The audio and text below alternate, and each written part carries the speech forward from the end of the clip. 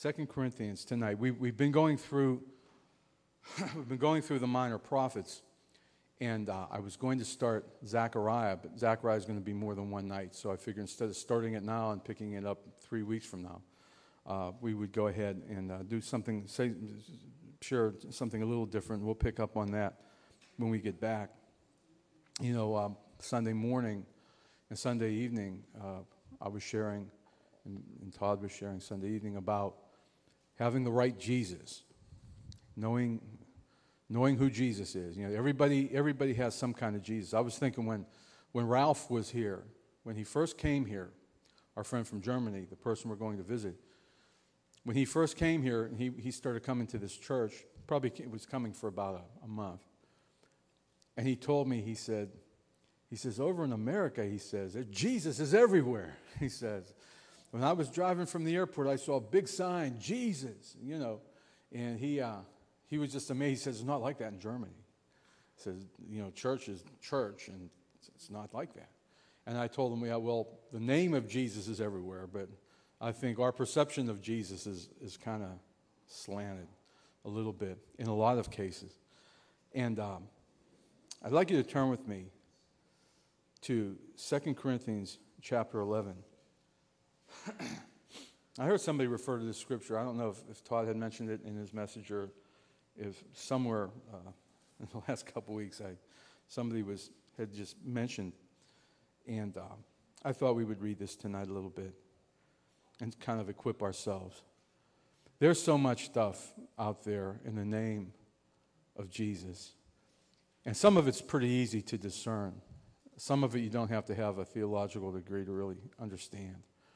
But some of it is so close to the truth. It's so close to the truth that if you're not, well, the Bible says, if possible, even the very elect would be deceived.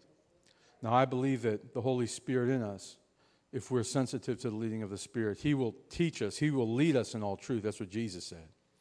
So we have a truth detector inside of us, not to coin a phrase. We have a truth detector inside of us. And it's important that we learn how to use that. In John, uh, 2 Corinthians chapter 11, the Apostle Paul, in his writing to the church at Corinth, especially in his second letter, he spent a lot of time defending his ministry because his ministry was under attack. Paul was being slandered by false apostles and false teachers that would follow him wherever he would go. He would go and he would plant a church and preach the gospel, and people would get saved, and he would leave. And there would be others who would come and try to undermine his ministry and undermine his influence. And they would claim to be apostles, and they would claim to be teachers, and they would claim to, you know, know Christ. And I'm sure they used a lot of the right words and said a lot of the right things, but it's just a little bit of error. Just a little, as I said the other night, just a little drop of sewage in a bottle of water pollutes the whole thing. In chapter 11, Paul says this, starting in verse uh, 1. He says, Would to God you could bear with me a little in my folly, and indeed, bear with me Paul was being a little facetious here. He was being called a liar, a false teacher. They were saying he was puffed up and he was proud and all these other things. And he says in verse 2, well, I'll back up just a few verses. Let's go back to verse 17 of chapter 10 just to read into this. Paul says, But he that glories, let him glory in the Lord. He that glories. It doesn't say glory in your speaking ability. It doesn't say glory in what your tally was last month of people you got saved or how much money you raised but he that glories, let him glory in the Lord. For not he that commends himself is approved, but whom the Lord commends. My goodness, we. Folks can stand up and give you a list of accomplishments. And that's what these ones who would do, who would follow Paul, they would follow him around and they would stand up and they would boast about all their accomplishments. And you know, Paul, he could have boasted about his accomplishments. He did a lot of stuff. But he goes on and he says, Listen, just bear with me a little bit in my falling. He says in verse 2 For I am jealous over you with a godly jealousy.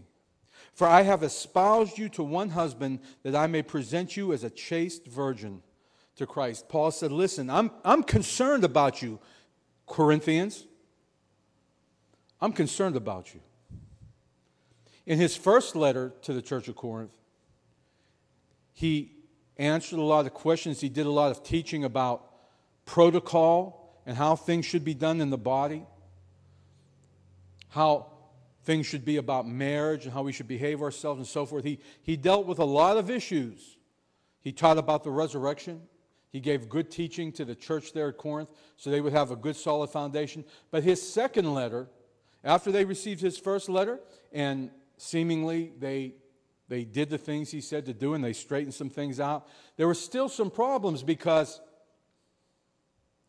they were listening and they were hearing and they were allowing people to come in saying things that weren't from God.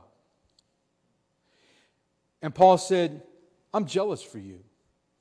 I want to tell you something. People in ministry, really good, God fearing men and women in ministry, care about the people they preach to.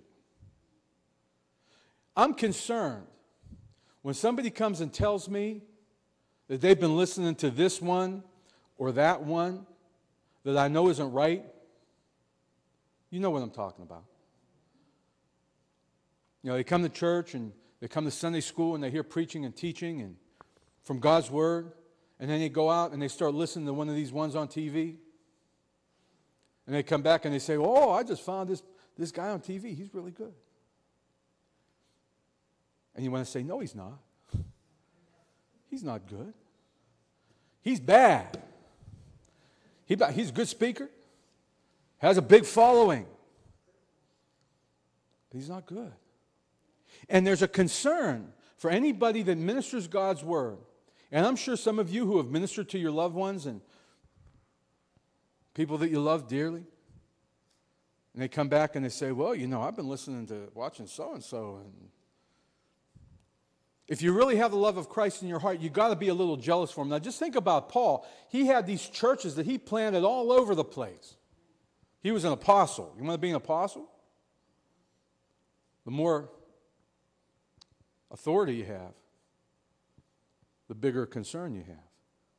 He wasn't concerned with a church of 10 or 20 or 50 people, but he had churches everywhere. In the midst of a wicked and perverse generation, just like this one, in, in the midst of the Grecian world and the Roman world that was fraught with philosophy and, and vain religion. He said, I'm jealous for you. I've, I've, I've, i want to present you as a chaste virgin to Christ. He says in verse 3 But I fear lest by any means, as the serpent beguiled Eve through his subtlety, so your mind should be corrupted from the simplicity that is in Christ. The further I go, the more I realize how simple salvation really is. Just as simple is a relation as a child to a parent. It's a simple relationship, mom and dad and kids. We try to make our relationship with God so complex and we turn it into a religion. You know, we have this, we have all these when it's really a love relationship. It's a father adoption. We're adopted. We have the spirit of adoption. We, we, we, can cry, Abba, Father. Paul says, Listen, I'm concerned that your mind should be corrupted because just like Satan in the garden, and we all know that story, he's more subtle than any beast of the field. Just like Satan in the garden was able to go and, and deceive Eve, he's, he's about the same thing. His, his job is still the same. Paul was concerned for the church at Corinth that they might be deceived. For if he that comes, in verse 4, preaches another Jesus, whom you, we have not preached, or if you receive another spirit which you have not received, or another gospel which you have not accepted, you might well bear with him. What Paul is saying here is, you know, if you listen to these guys long enough, you might start believing what they say. He's telling the church in Corinth, man, you, you'll listen to anything. And I have, I have to say, folks, Christians in the United States, we'll listen to, we'll listen to anything. We'll buy anything. Dress it up right, have the right kind of music, have the right atmosphere, and we'll eat it up. We like it our way. Big Mac with fries, you know. Just like we like it. It's no different back then. They didn't have Big Macs back then. It was the same thing. There were people coming along after Paul, which realized Paul laid the foundation of salvation by faith in Christ, and they, and they saw it as a, as a fertile field for planting deception. Launching what they would say off of the teachings of the truth with just a little bit of error and just a little bit of pride and just a little bit of self. Paul says, I'm, I'm concerned about you. I wonder what he would say about Christians in America. I wonder if Paul had been to this continent and had planted churches. I wonder what he would say today about Christians in America. I'll take it a step further. I wonder, since tomorrow is a National Day of Prayer, I wonder what our founding fathers would say about the United States right now. I don't think this is what they had intended. I really don't. I don't know. That's another topic. Okay. He says, in verse 4, he says, you know, if you listen to them long enough, you're going to believe what they're, what they're saying. But then he says this He says, For I suppose I was not a whit behind the very chiefest apostles. But though I be rude in speech, they claimed that he was just rude in speech yet not in knowledge, but we have been thoroughly made manifest, you among, uh, um, manifest among you in all things.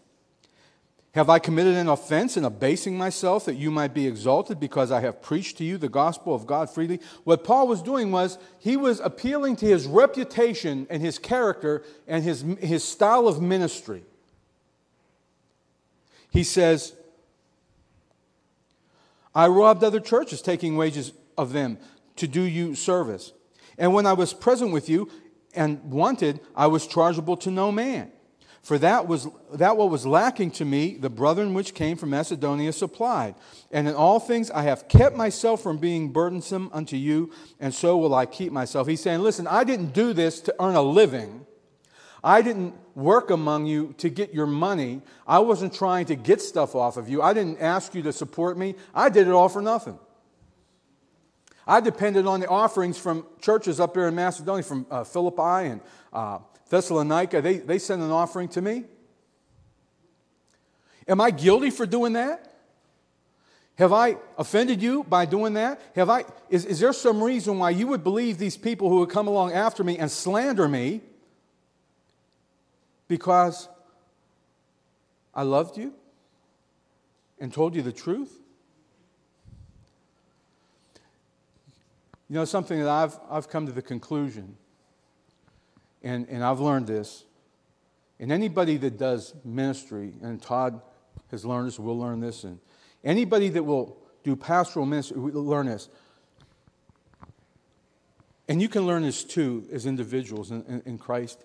You never have to defend yourself against slander. You know that?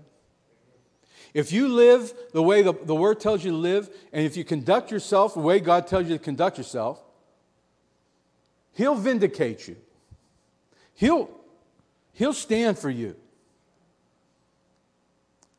Now, if I veer off the course and I go do something stupid, that's on me. But the Apostle Paul, he said, Listen, you knew how I lived amongst you, you know how I ministered amongst you.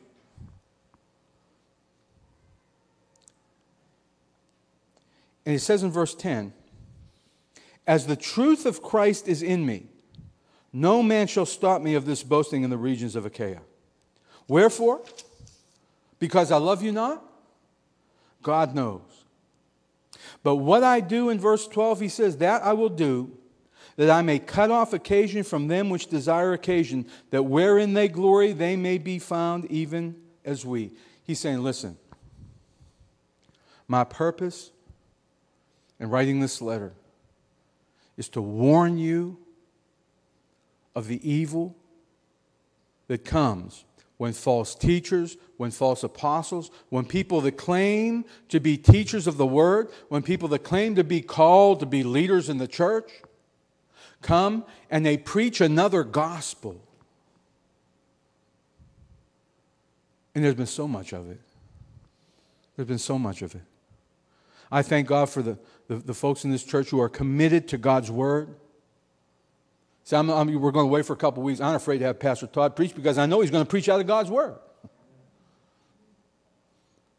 Other people have come in here that I know, I know, I know they're going to preach out of God's word. You can't go wrong with that. That's what the Apostle Paul was saying. He said, Listen, I'm jealous. I'm concerned for you. I'm, I'm worried about you because these people coming along and he dealt with this problem everywhere he went. The church when he wrote the, the, uh, the letter to the churches in galatia galatians he was dealing with the judaizers who they would call the judaizers who would come along. And they would they would teach that well okay yeah paul preached you're born again and all that but now you have to be circumcised. Now you have to go through that now you have to become jews and they were so good at it that the Galatians were starting to believe what they were saying. Paul said, Who has bewitched you, O foolish Galatians? Who has what? Were you saved through works? Were you saved by being baptized? Were you saved by doing something? You were saved by faith. Now you think you have to be baptized or you have to be circumcised to complete your salvation? Isn't the Spirit enough? Every place he went, there would be somebody to come along after him, some imp. Too bad my wife isn't here. There's a big fly right on my Bible. okay, no. Lord of the flies, get out of here. Okay. I don't have a fly swat. Somebody would come along and say, Well, just like the serpent said. Now, listen to what he says. Verse 13. And this is, I wanted to get to this place. For such are false apostles, deceitful workers, transforming themselves into the apostles of Christ. You know, it seems today everybody claims to be an apostle. You know what an apostle is? Now, the original apostles the early apostles, they were men who saw Christ, who experienced his presence. They were inspired by the Holy Spirit to write scriptures. That kind of apostleship isn't here anymore. We've talked about this before when we talk about apostles and preachers and evangelists and prophets and so forth.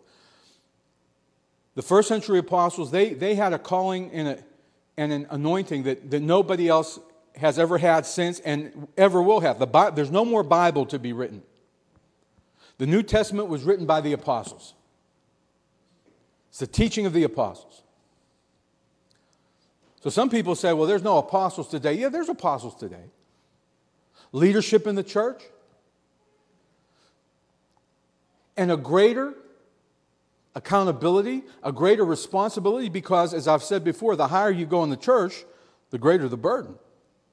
When the Apostle Paul was writing earlier in this letter about being an apostle, he said the apostles are at the end of the parade.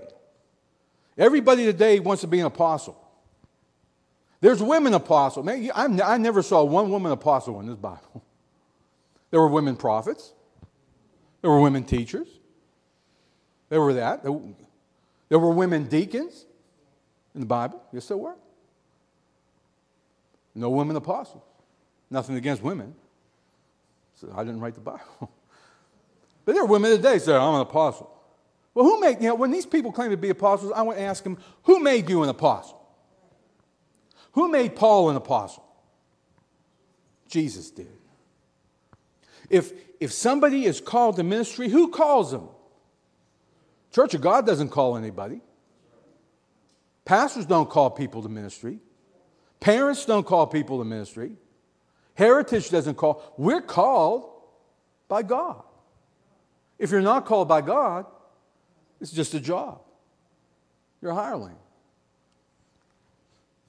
Paul says, such are false apostles. These men who would come and claim to be apostles and claim to have authority, they did not get their authority from Christ.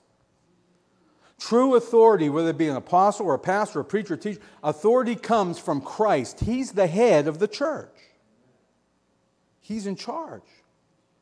He's the one, if anybody stands up here and preaches and we preach with authority, it's because Christ has given us the authority to preach His word. It's not our own authority. We don't get authority from Cleveland, Tennessee. They'll give you a piece of credential, a piece of paper that you don't have to pay to park at the hospital, you know. And that's all right. They recognize calling. They, they offer positions in the body of Christ. That, that's all right. But true apostle, true ministry is called by Christ. There were false apostles in those days, and there are false, false apostles today. The Apostolic Reformation, how many people have heard that term? I'm asking these people, who made these people apostles? Where'd you get? Did you meet Jesus on the Damascus Road? Well, I went, if somebody claims to be an apostle, the first thing I want to ask them is, who do you answer to? okay. False apostles, deceitful workers. Well, if you read through Jude's letter, he describes these people. They're workers, they do a lot of work, but they work in deceit. They have an agenda, they have a purpose, and it's not of God. They transform themselves into the apostles of Christ. They're really apostles of Satan but they know how to make themselves look and sound similar to a real apostle. Listen to what he says. It's no marvel. For Satan himself is what? Transformed into an angel of light. Lucifer, the light bearer. He started out as an angel of light. He was created as a light bearer. He was created as the worship leader of all the angels until pride was revealed in him. I was thinking in the Word, there are Satan, there, there are three personifications of Satan. The first of course, is in Genesis chapter 3 when he's the serpent. To get a, a picture of that, turn with me over to Colossians.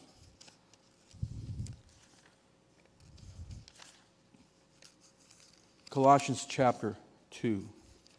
I apologize, I did not put that in the, in the Zion works there. Colossians chapter 2. And uh,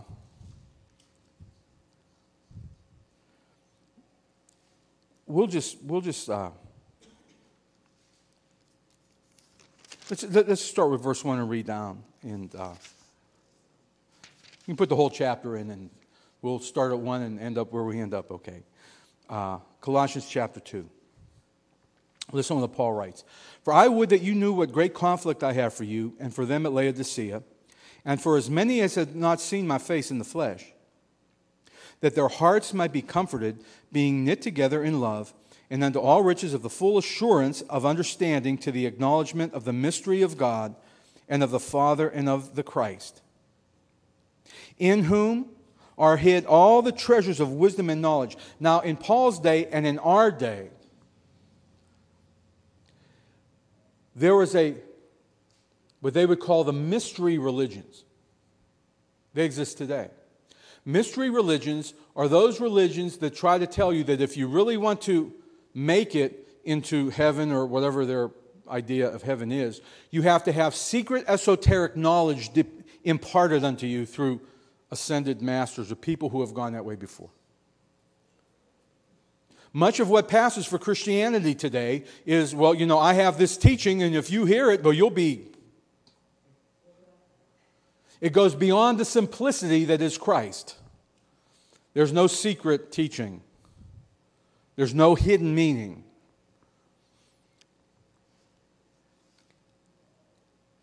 He says, And this I say, in verse 4, lest any man should beguile you with enticing words. This is, this is the serpent, the personification of the serpent. For though I be absent in the flesh, yet am I with you in the spirit, joying and beholding your order and the steadfastness of your faith in Christ. As you have therefore received Christ Jesus the Lord, so walk ye in him, rooted and built up in him, and established in the faith, as you have been taught, abounding therein with thanksgiving. Now, here in verse 8 Beware this is, this is the serpent. Beware lest any man spoil you through philosophy and vain deceit. What did serpent say to Eve? He questioned. He philosophically questioned the word of God. Did God really say? Philosophy and vain deceit after the tradition of men, after the rudiments of the world, and not after Christ. Satan the serpent, the most subtle of all beasts, attacked the, the philosophical basis of faith in God. You know, as long as Adam and Eve believed God and didn't eat of that tree, they were doing good. But as soon as they were, as soon as Satan appealed to their thinking, to their mind, and philosophically attacked God's Word. And they believed it. How much, how many of the great philosophers of the world, Plato, Socrates, Aristotle, and going down through the centuries to the last uh, hundred years, how many of them truly acknowledged a God in heaven who cares about the lives of his people? Philosophy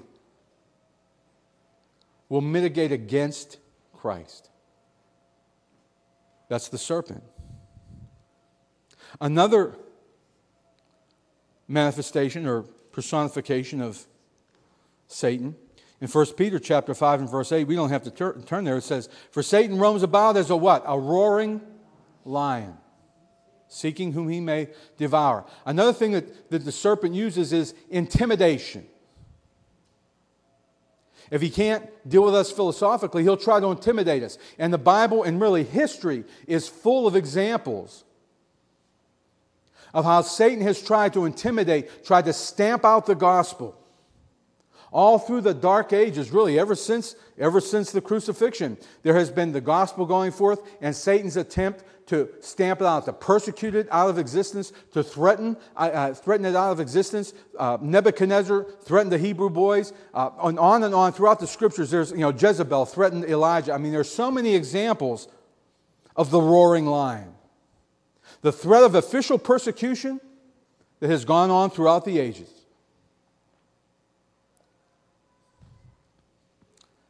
The third manifestation that we just read about in 2 Corinthians is the angel of light. If he can't philosophically deceive us, if he can't intimidate us, if he can't beat us, he will join us. And he'll come with a suit and a tie and praise the Lord. He'll come with the gospel music worship music. No. And he'll make you think that he's an apostle. The other night, Rose and I were flicking through the channels. And we went on the one that has a telethon. And there was a guy there I'd never seen, a new guy. I said, let's see what this guy has to say. And I started listening to him, and sure enough, They'll pull out the old widow. you know, they'll pull out the widow's mite and the lady from Zarephath. And, the... and I looked this guy up on the internet. And he calls himself a success coach. Jesus is Lord. Hallelujah. Glory to God. Reading God's word. An angel of light. Stars on all the Christian TV shows. Got a big church. You know, travels everywhere. Gets a big honorarium. Big honorarium. People eat it up. How much of what we've heard in the last 5, 10, 15 years, people that have been accepted as pastor, reverend, apostle, and they come and they'll and they'll and they'll start reading God's word and they'll tell the truth, but then they'll get to one place and they'll just put one little, just maybe one little clause in. And if you're not, if you don't really catch it, just go right through. I'll say, yeah, sounds good. Hey, this guy's pretty good. Until, you know, the rubber meets the road. Paul says, false apostles, deceitful workers, coming across as being on God's side. Peter said it like this in 2 Peter chapter 2, and we're going to close with this.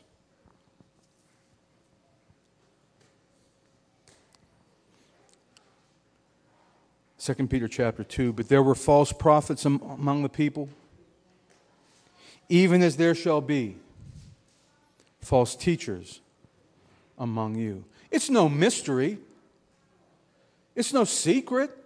He warned us. Why are we so gullible? He says, they'll privately shall bring in damnable heresies. They're not going to wear a sign on their a name tag that says heretic, false teacher. They'll wear a name tag that says prophet. You know, I'm a prophet apostle. They'll privately bring in damnable heresies, even denying the Lord that bought them, and bring upon themselves swift destruction. Do these people realize? When, listen to what they say. Listen carefully to every word. So it can only be like one or two little words a sentence, a phrase that can turn it around. And many shall follow their pernicious ways, by reason of whom the way of truth shall be evil spoken of. And through covetousness shall they with feigned words make merchandise.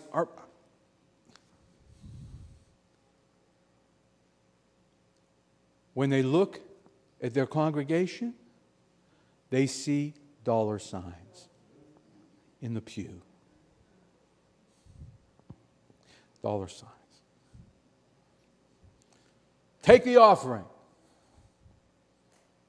I believe in offering, tithes, it's important.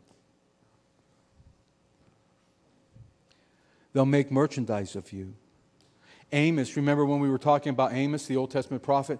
He said they would sell the people for a pair of shoes. Nowadays, they'll sell them for a Rolex watch and a, and a corporate jet.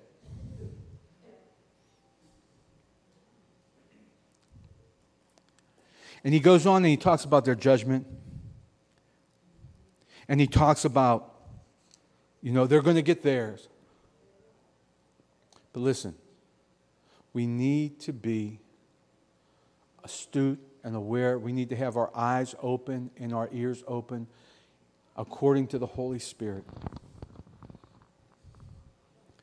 to listen carefully. When somebody stands up here whether it be me or anybody. Listen carefully. Now, I'm not saying, you know, we're all human. We can all make a mistake here or there. But I want to tell you something. You let your life, you let your reputation be your, be your resume. You, you let the way you carry yourself. And this is if you, if, you, if, you if you want to get into ministry, if you just living the Christian life. That's why the Bible says to be above reproach. Let your life speak for itself. So when you speak the word, that'll be the foundation. That's what Paul was saying back there in Corinthians. He's saying, Yeah, I could tell you about, you know, I was a Jew, I was a Hebrew, I was Benjamite, I was all this and that. I, I was an apostle. He, he goes on, he, he goes on back there. Just, just turn back there for a minute in 2 Corinthians.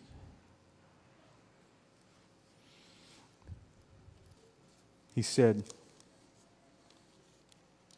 uh,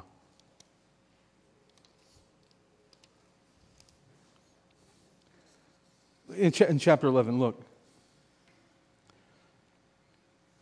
Paul, Paul was giving his resume, starting at verse 21. Well, look at verse uh, 18. Seeing that many glory after the flesh, I will glory also. Paul says, Well, they brag about their accomplishments, I'll brag about mine. Okay. For you suffer fools gladly, seeing as you yourselves are wise. For you suffer if a man bring you into bondage, if a man devour you, if a man take of you, if a man exalt himself, if a man smite you on the face. Oh, Paul, he's laying it down. He says, I speak as concerning reproach, as though we had been weak. Howbeit, wheresoever any is bold, I speak foolishly. I am also. He's saying, You want to, you know my credentials? Are they Hebrews? Me too. Are they Israelites? So am I. Are they the seed of Abraham? I got the, I got the pedigree to prove it. Are they ministers of Christ? I speak as a fool. I am more. See if you want to apply for this job in labors more abundant, in stripes above measure. Stripes, that's not stripes like you get in the army as a sergeant. that's a different kind of stripes. In stripes above measure, in prisons more frequent, in deaths often. Of the Jews, five times received not 40 stripes save one. They beat me up five times. Three times I was beaten with rods. Once I was stoned. Three times I suffered shipwreck. A night and a day I have been in the deep, in journeyings often, in perils of waters, in perils of robbers, in perils by my own countrymen. Everybody hated me. In perils by the heathen, in perils in the city, in the wilderness, in perils in the sea, in perils among false brethren, in weariness and painfulness. Hey, I'm an apostle. Apostles today ain't going to apply for this job. Apostles today to stay in the penthouse with the gold faucets, you know weariness, painfulness, watchings often, and hunger and thirst, and fastings often, and cold and nakedness. Beside those things that are without, that which comes upon me daily, the care of, of all the churches, beside all that stuff has happened to me, I got to worry about all you too. All these churches I planted all over Europe and Asia. He says, Who is weak and I am not weak, and who is offended and I burn not? If I must needs glory, I will glory of the things which concern mine infirmities. Paul saying, listen, these guys you got coming to you, find out, see, see what they've been through for the sake of the gospel. Give them, give them, give them the apostle test. See, when, when we listen to people speak, I thank God for it like the local church because you know the people in this, we all know each other. We all know each, we all know each other's faults. Like in a family, you know, when you're in a family, you find out each other's faults. When you get married, you find that out real quick. and love covers a multitude. I thank God, love covers a multitude of sins, you know. But we get to know each other.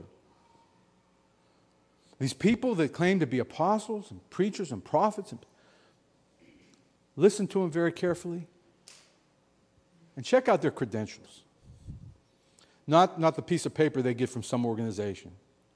A lot of them give themselves. You know, you could start your own church and make yourself an apostle. We could start the first church of Crystal here, and Crystal can give out licenses. Just incorporate and put a sign. That's what they do. You know. I'm, I'm, I'm, getting, I'm rambling. I'm getting off the track. Just read a little bit more. We're going to close. The God and Father of our Lord Jesus Christ, in verse 31, which is blessed forevermore, knows that I lie not. In Damascus, the governor under Aretas, the, king, kept the city of Damascus with a garrison desirous to apprehend me. Man, he said they were looking for me. People were hunting me down. They wanted to kill me. Said, These are my credentials. I traveled all over Europe and Asia planting churches, not because it paid good, but because God told me to. And every one of us, whether you're a pastor or just somebody, a Christian that loves the Lord, what you do for the Lord, you don't do because you're getting paid for it. You know, if I ever get to the point where I do this job because of the money, I'll go get a job. I'll go, I'll go to Walmart and go greet people. You know. Nothing wrong with nothing wrong with paying ministry. Don't misunderstand me. But he did all this stuff not for the money, not for the recognition, not for the glory, but he did it because Jesus told him to. And you know what? There were probably times that Paul didn't feel like doing it. There were probably times that Paul did not feel like getting beat up. But he did it because Jesus told him to. I remember one time I was watching the guy in New York with the, with the, uh, with the school buses, Bill Wilson. You ever, you, you know who I'm talking about, Bill Wilson? He had long hair for a while. He had a long haired guy. He had, he had a great ministry in, in the slums of, of New York City. And somebody asked him, so see if I can remember the question. Somebody asked him, you know, uh, oh, uh, it was something along the lines of, oh, you must be really blessed. He says, he said, no. He says, I do this because God told me to do it. I got all these buses, I got all these kids, I got this ministry, I got to worry about money, I got to worry about paying for all this. And somebody said, oh, you must really be blessed. You must really, you must really feel. And, he said, no, I, I do it because God told me to do it.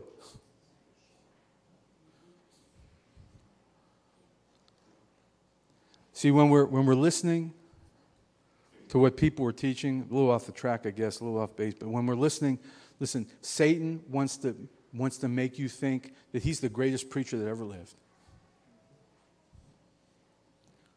So I guess tonight I'll leave you this. You know, I'll be back in three weeks on Wednesday night. We'll go with Zechariah. Be careful what you listen to out there. Somebody tells you about a new preacher that, man, just you go listen to, find out where he comes from. Find out what his background is. Find out about his lifestyle. Yeah, I, I, can talk about the folks that I know in this church. You know, you, you can look it up. Not just me, but other people ministering in this church. You, nobody's perfect. If you look close enough, you're going to find something wrong. Just like this church, and I know other pastors in this town, I know how they live. I know them. They're men of God. Not perfect. The pastors and the preachers that I respect as having wisdom and experience and knowledge, they're people who have lived the life and are living the life. So, my prayer is for us, for all of us, whether we're called to ministry or just just called to be good Christian neighbors. that our neighbors would look at us and say, I'm going to listen to what they say.